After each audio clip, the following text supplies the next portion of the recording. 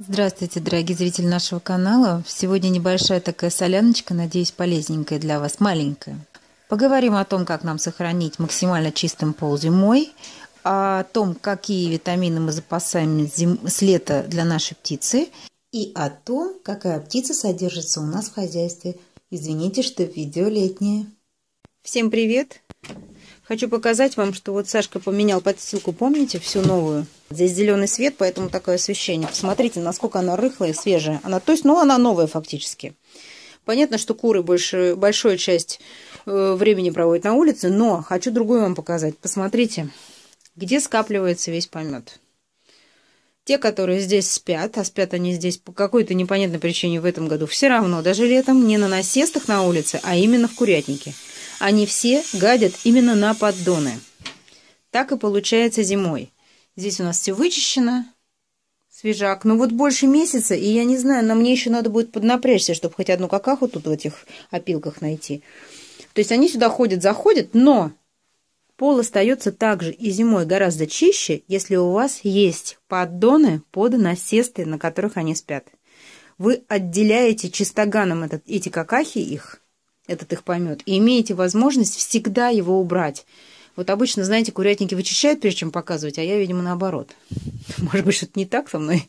Но, короче, смысл в том, что... Вот я сейчас башку свою уберу. Вот видите, где две кучи? Вот в какую сторону они сели от насеста, в такую сторону их попа повернула, тут они вот и сидят. Вот в основном вот в этом углу. Ну, зимой, соответственно, они занимают все насесты.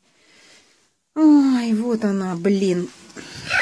Ну что, ну слезай ты, господи, на, на яйца села, представляете? Мне Сашка не разрешит ее посадить. Да слезь ты. Вот нахалка, а, ну что делать будешь с ней? Ладно, я, яйца сейчас я у нее соберу. Отдай. Вот попа. Ну вылези. Ну вылезай ты. Ну что чего-то? Ничего, вылезай, ну нельзя тебе садиться. Вылезай. Глупень. Ладно, короче, хотела показать вам именно вот это. То есть для зимы и для зимнего содержания кур наличие поддонов, которые под насестами, просто спасут вам ситуацию, оставят вашу подстилку максимально за сезон чистой, надолго, так скажем. И, конечно же, спасут ваш курятник от неприятного запаха постоянного. Вот это все счистить в ведра и вынести просто 20 секунд в любое время дня и ночи. Так что думайте, смотрите, конечно, но очень рекомендуем. Хочу вам показать. Смотрите, положила им, видите, черноплодную рябину. И вот туда бросила. Они прекраснейшим образом ее едят.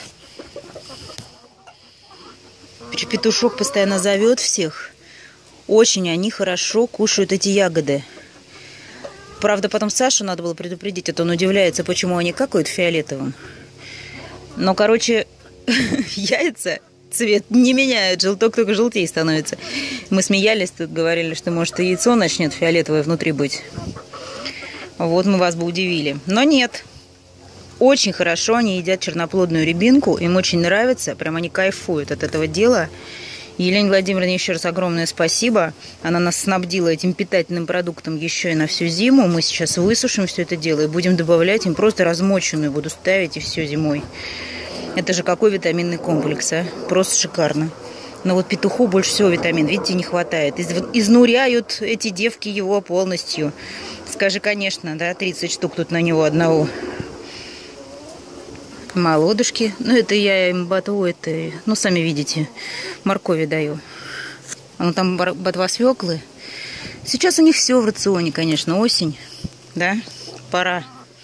Ягоды можно было бы, конечно, приберечь на зиму, но ничего, хватит и на зиму. Ну и ягоды нашим курам тут как тут уже практически совсем они высохли. Очень качественно, хорошо. Елена Владимировна нас снабдила на пять лет вперед еще и нам самим есть, не переесть. Так, посмотрим вот наши кученки. Одна, две, три, четыре, пять, шесть. И одна в общем загоне есть, седьмая. Семь кученок и петух. Да-да-да-да-да-да-да-да-да-да. Так, что у них? Так, все хорошо у них. А, каждый раз руку, блин. Туда суну нормально, а оттуда с яйцом не вылезает. Знаете, так обезьян ловят в Африке. В коробку кладут апельсин, в дырочку руку сунула, апельсин схватила, обратно не вылезла. Вот прям наш случай. Так. Кстати, яйцо. Вот смотрите, молотка, а как она догоняет крупное яйцо уже, да, по размеру. Вот. Так, теперь... Папа забирал, что ли, сегодня у вас? Или вы опять раскидали везде? А, вон валяется. Ну, молодцы. Тоже вам надо сделать, наверное, гнездо темное, да? Тоже молодочки маленькие. Все, гнездо, все яйцо истоптали. Ну, вы даете, девки. Надо вам закрытое гнездышко сделать. Все-таки, видите, недооценили мы важность закрытого гнезда. Но для некоторых пород это стратегически важно, для некоторых, видимо, не очень. Вот эти стратегически важно закрытое гнездо.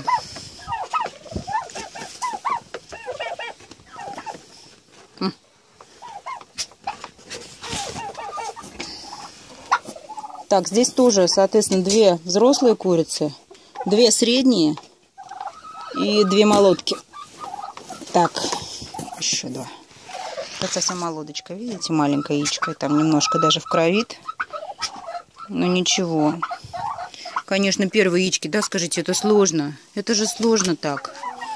Вот та с чесанной спинкой, понятно, да, любимая жена. И это они постарше. Это помоложе, помоложе. И это серединка такая у нас наполовинку. И одна у нас в изоляторе сидит по причине того, что петух снова вскрыл ей голову. Я не знаю, у него не клюв, по-моему, у него, по-моему, скальпель. И он меня уже задрал этим, не знаю, что делать. Может, ему прижечь вот этот клюв острый. Он хватает, видимо, просто страшно. Хотя видите, какой у него гребень большой, ровный, яркий.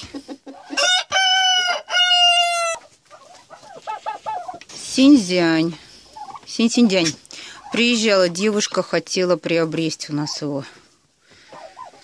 Но мы не отдали, в общем. И вот у него гребень, концы переходят прям в черный цвет. Но чувствует он себя прекрасно, кстати. Но вот, видимо, так вот он по породе. И девчонки мои сладкие, гребешки все кривенькие, да? Головки маленькие, яички зеленые. Че насупилась, сидишь ты там? Ну-ка ты чё? Все хорошо? Да, у меня не посидишь особо, да, я сразу же тебя просеку. Вот. Их у нас пять. Девочек и мальчик. Они молодочки почти все, одна только взрослая. И из-за этого яички у них мелкие еще. У нас вся птица в хозяйстве выведена нами из яйца. Вот, но это снова относится к болезни, к нашей боязни а, привести заразу, в общем-то. Поэтому отходите. Дубак на улице страшный. Кстати, в теплице куриной у нас, вот, видите, да, 17 градусов. На улице 11. Сыро, холодно и плохо.